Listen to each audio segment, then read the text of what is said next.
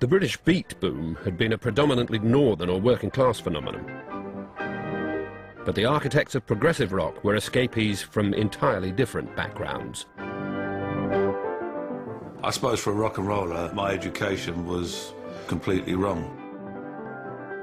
My mum and dad, I mean, literally did go without food to, to send me to piano lessons. I never found that out till many, many years on, and I went there when I was five, uh, and I loved it. My family had a varied taste in music, and they were very opinionated about it. Of course, I like Cliff Richard and the Shadows, and they were going, nonsense, you, you won't even know who these people are next year. And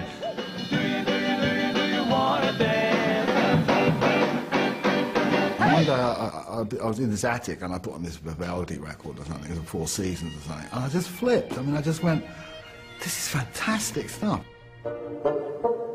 Studied Stravinsky's Dumbarton Oaks Concerto, did a lot of church music, sang in choirs. At the same time as being obsessively interested in you know, the shadows.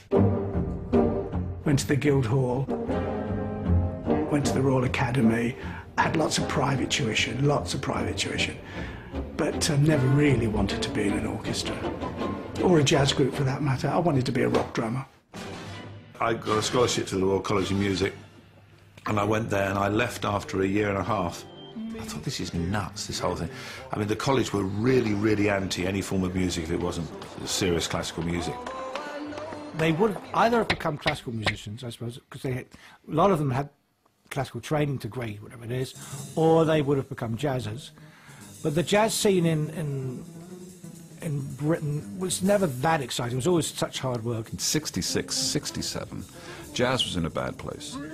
Jazz was free jazz. It was squeaky bum jazz, you know, kind of squeaking away. And any red-blooded drummer, age 17 at that time, would have wanted to play with Jimi Hendrix rather than the spontaneous music ensemble.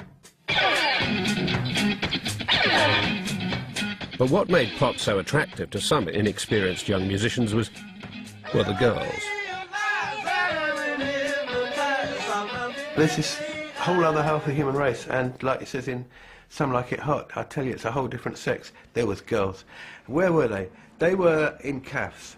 What were they doing? Sitting there. What did they? They, they had uh, chalk white pink lipstick on. And I thought, I don't quite know what what they're for or what you're meant to do in them, but I would thought, you know, there's something great about this lot.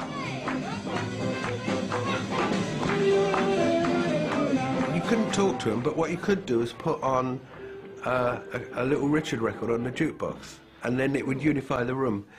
Uh, you couldn't put on Bartok violin concerto. That wouldn't have impressed anybody. It wouldn't have unified the room. Wouldn't have got everybody tapping their feet.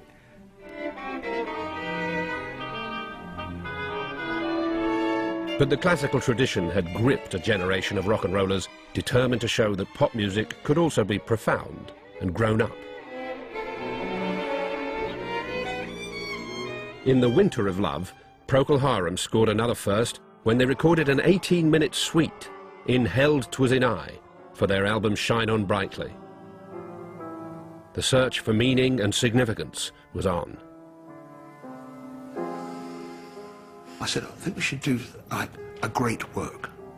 That's what I called it. In fact, it was called O Magnum Harum for a while.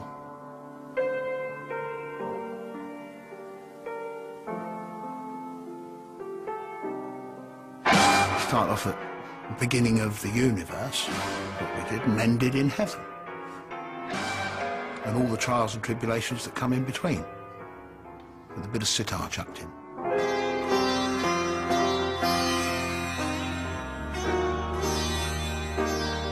You know, somebody had to do it, I suppose. You know, if it hadn't have been Procol Harum at that point, it would have been somebody, you know, four weeks later.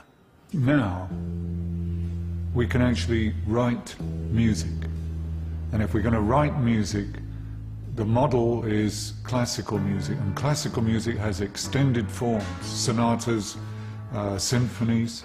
So we're going to do structures and pieces that last a long time that try and give us that credibility musically.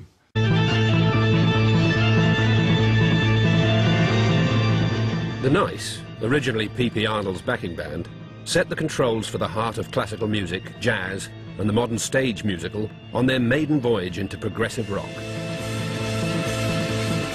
Frontman Keith Emerson was the Hendrix of the Hammond organ, making his instrument scream and sigh in dazzling displays of technical virtuosity and crazed physicality.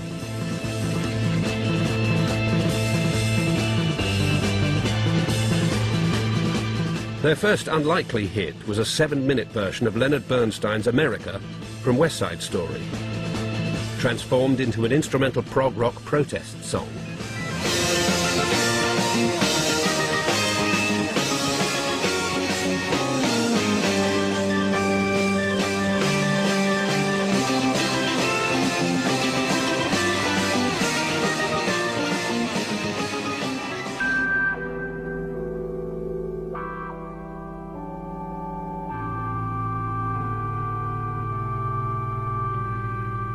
Progressive music didn't only come from the big cities. Welcome to Canterbury, the posh cathedral town that seeded those musicians who would in time grow into Soft Machine, Caravan, Hatfield and the North, and Matching Mole, all stemming from a little-known local group called the Wilde Flowers. The Wilde Flowers didn't do loads of gigs. Probably only about one a fortnight, maybe maybe one a week. Because we weren't very popular. Those lads were very much into um, Thelonious Monk, John Coltrane, Dizzy Gillespie. We tried to do sort of danceable versions of that kind of music, you see. Just to be different and awkward. I like me, I like you, and the things that we do. Though my mouth love you too. I don't like it if people think, you know, that we thought that, that the sort of clever grammar schooly people came in and thought we were doing something better than just mere pop. We were awestruck by pop music, by the magnificence of Beatles, of Motown, and really we just wanted to participate in it. But getting our little groups together, our own dialects of other stuff we picked up crept into what we did. You know, I'm playing beat drums and I'm trying to sound like a you know, rhythm and blues drummer. But I have been listening to all these sophisticated jazz drummers, you know, and I was sort of cluttered with with stuff. You know, you can't sit, pretend you haven't heard Elvin Jones if you have, you know. Soft Machine was the first band to emerge from the Wilde Flowers. They headed for London's newly established underground clubs, playing with groups such as Arthur Brown and Pink Floyd, at Middle Earth and UFO. In that club, you got everything from vaudeville to uh, rock to jazz to electronics to pure percussion to theatre to poetry to dance to naked people wandering around. That was what we all gravitated towards, UFO and Middle Earth. That was the, the culture that defined us. We're always sort of stoned people listening to music played by stoned bands. Uh, and uh, as long as everybody was stoned, everybody thought it was really good. We hadn't really got enough tunes um, to just do songs.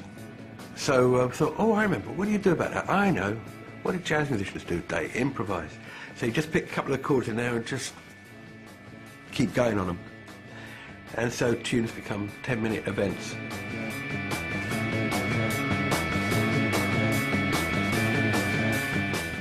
This is not because we've all become virtuosos, it's not in our case. It's because we haven't got enough tunes to stretch one and a half hours. Our organist Mike Ratledge was older than us, taller, and his father had been headmaster and who had an Oxford degree, so therefore assumed immediate uh, seniority. well, there's the fuzz box, which sounds like this. If once he puts his fuzz on, you had to keep playing. You couldn't take your hand off because it would start feeding back. So he developed a solo style of absolutely continual notes without a single break in.